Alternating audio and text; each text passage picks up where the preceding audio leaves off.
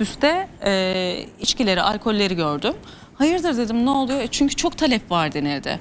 Daha öncesinden Ramazan ayında bizim milletimiz işte e, sokakta vesaire çok dikkat eder. Ama bu pandemi e, sürecinde gördük ki e, artış oldu. Aslında bizim büyük artışlarımız yılbaşı gecesi olurdu. Şimdi en büyük artışı yaşanıyoruz denildi. E, Ümit Bey de söyledi tamamen dedi e, bu cambazımak hikayesidir dedi. Bir genelgeyle alkol satışı yasağı getirilebilir miydi? E, yoksa tamamen alkol satışı sadece yasayla mı yasaklanabilir?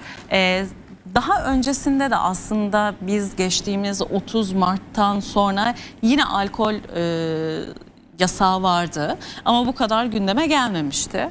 Ee, nasıl yorumlarsınız? Sizin de yorumunuzu alayım. Olaya alkol yasağı olarak bakmamak lazım. Nasıl Zira bakalım? Türkiye'de alkol şu anda yasaklanmadı. Olaya e, çalışan iş yerlerinin kapanması olarak bakmak gerekiyor. Yani bugün eğer siz temel hak ve hürriyetler, insan hak ve hürriyetleri bağlamında bu genelgeyi değerlendirirseniz bu genelge normal koşullar altında insan hak ve hürriyetlerine aykırı bir genelgedir. Normal koşullar altında.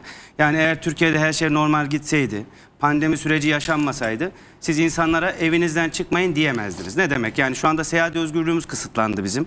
Şu anda insanların kılık kıyafet alma özgürlükleri kısıtlandı.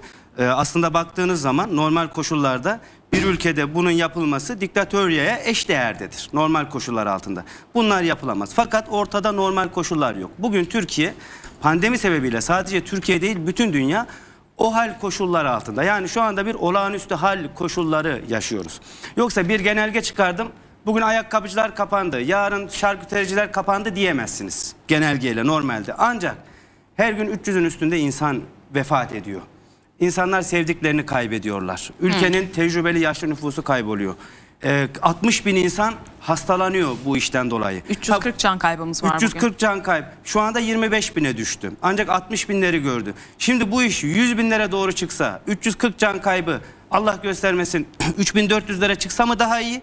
Yoksa genelgeyle biz 17 günlük bir kapatma yaptık da, e, demek mi daha iyi? O açıdan buna e, temel hak ve hürriyetleri kısıtlama olarak değil o hal şartlarında bir kısıtlama olarak bakmak gerekiyor. Nasıl ki şarküterileri kapandıysa, ayakkabı dükkanları kapandıysa, kırtasiyeler kapandıysa tekel bayileri de kapandı. Ee, sadece insanlar ki alkol e, bugün e, bir e, temel gıda maddesi değil. Yani insanların yaşamını sürdürmesi için alması gereken bir temel gıda maddesi değil. Peki buranın arkasından işte cambaza bak mevzusuyla ilgili de e, cambaza e, bakılması için bu konunun konuşulmaması gerekiyordu. Ama biz bu konunun eleştirel bir şekilde özellikle muhalif taraf e, cephesinden tartışıldığını görüyoruz. Yani hükümet alkol yasağı ya da tekel bayisi yasağı diye konuşmuyor ki zaten genelgede birçok yasak var.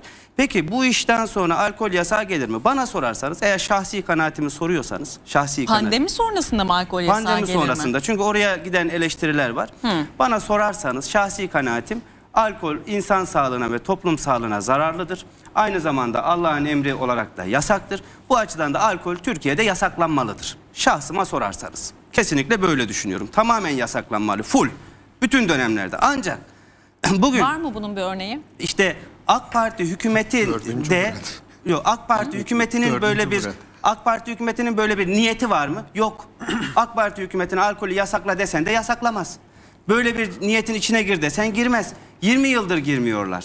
Daha önceki Refah Partisi döneminde de girmemişlerdi. Yani Türkiye'de böyle bir yasaklama tartışılmadı bile. Ancak bu yasaklanmalıdır diyoruz. Siyasi irade de bununla ilgili bir gündem bile almıyor. O yüzden bu işin yasaklar bağlamında konuşulması bile yanlış ki hükümet bunu cambaza bak şeklinde eee, konuşmuyor. Hocam- Bence de bence de bu konunun konuşulması, buraya odaklanılması yanlış. Çünkü bizim konuşmamız gereken mevzu ya vatandaşlar 17 gün boyunca kayba uğramışlar. Bu esnaflar ciro kaybına uğramışlar. Verilen destekler yaraya merhem destekleri. Peki 17 günün sonunda tekrar yasaklar gelir mi gelmez mi? Bunu konuşmak lazım. Gelmemesi için ne yapmalıyız? Bunu konuşmak lazım.